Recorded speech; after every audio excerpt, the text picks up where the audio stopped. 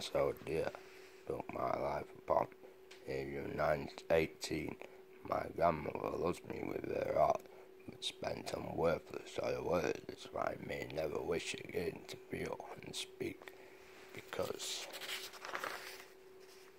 as I walk through the valley of the shadow of death, the Lord leads me to green pastures, and is my strength, staff and rod, one to be remembered by Nebuchadnezzar, if not claimed by a father as his own son, and no action is seen. I will please to be his begotten son. He is feared, giving gold as useless as a commodity, Value by a good seed of the sons of men, and that is all he will give as what's that word say? Ali's blow for those in the lofty word, grateful for the son who is only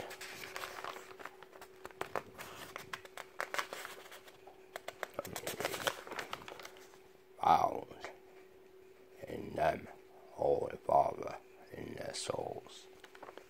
Now the words of change you may never know in Scripture.